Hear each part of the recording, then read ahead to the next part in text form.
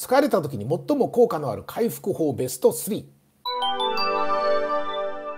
精神科医カバサーのカバチャンネル今日は質問いただきました。モーニングバッドさん45歳男性。疲れたら寝るのが一番ですか？なるほど。睡眠。寝るのが一番かどうかということも踏まえまして疲れた時に効果のある回復法をベスト3形式でお伝えしようかなと思います。ベスト1は睡眠。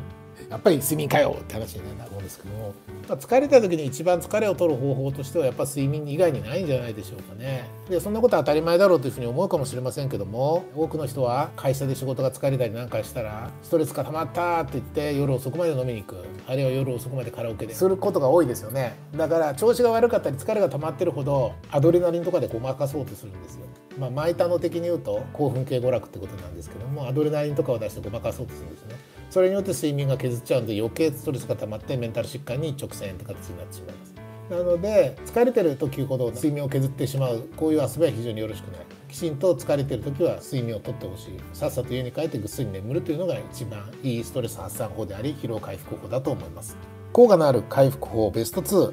入浴でしょう。お風呂でしょうね。やっぱりね。お風呂に入ると疲れが取れるっていうのはもう数々のデータが証明してますし皆さん方も実際にお風呂に入ると疲れが取れると思いますね。あと寝る前90分前入浴。これは睡眠にすごくいいってことは何度も言っています。寝る前90分前にお風呂から上がる計算ですから寝る前2時間前ぐらいにお風呂に入らないといけないと思いますけどもお風呂に入ってからちょうど気化熱で体温が1度ぐらい下がるので寝る時に体温が1度ぐらい下がってるのでものすごく深い睡眠に入ってトーンと深い睡眠に入ると成長ホルモンがドーンと出る。成長ホルモンが疲労回復ホルモンですから成長ホルモンがたくさん出ると疲労が回復します。なので風呂に入ることによって成長ホルモンの分泌を促してより深い睡眠に入って疲労回復するわけですね。普通に寝ても成長ホルモンって出ますのでさっき言った1番目の睡眠というのも成長ホルモンを出す方法です。あとですね入浴についてちょっと今まで言ってないノウハウをちょっと言うと交代入浴。あったかいお風呂に入って冷たいお風呂に入ってまたあったかいお風呂に入って冷たいお風呂に入る。これを交代入浴というんですけどこれはものすごく疲労物質を押し流す作用があるというふうに言われています。なのでアスリートの人とかよくこれを取り入れてますね。野球選手とかでもなんか冷水風呂に入ってますとか時々言ってる方とかいらっしゃると思いますしサッカー選手とかでもいますね。さらに疲れを取りたい人はその交代入浴っていう家ではできませんけど外の大きな入浴お風呂とかだと冷水風呂っていうのがありますよね。なのでなんで冷水風呂があるんだ？サウナがないとこでも冷水風呂があったりするんですけどそれは交代入浴のためにあるわけですね。で言わずとがな、まあ、サウナというのもあったかいところから急に冷たいところに行ってまたあったかいところに入るっていうので全く交代入浴と同じ効果が期待できますからサウナというのも非常に疲労回復効果があると言えるわけですね。疲労物質をもう押し流してくれるわけです。なので物理的に間違いなく疲労回復効果があるというふうに言えるでしょうね。あとさも言いました睡眠を深めるという効果もあります。筋弛緩作用って言って筋肉がリラックスした状態で布団に入るとそのまま深い睡眠に入りやすいですね。ということで入浴サウナいいと思います。最も効果のある疲労回復法。3番目は運動。えっ？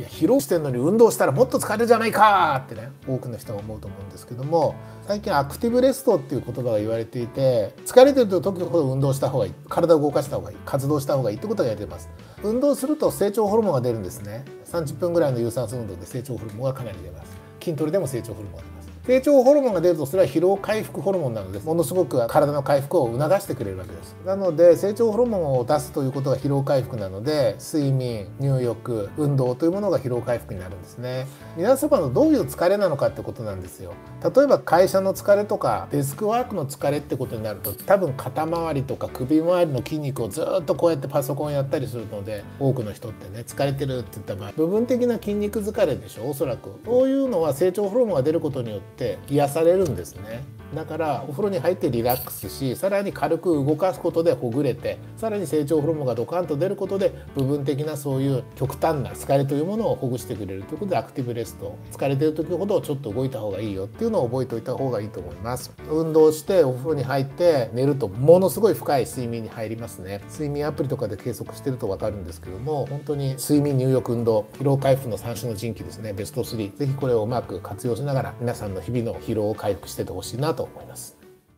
今日の動画はいかがでしたか？あなたの感想をコメント欄に書いてみよう。アウトプットで記憶に定着する。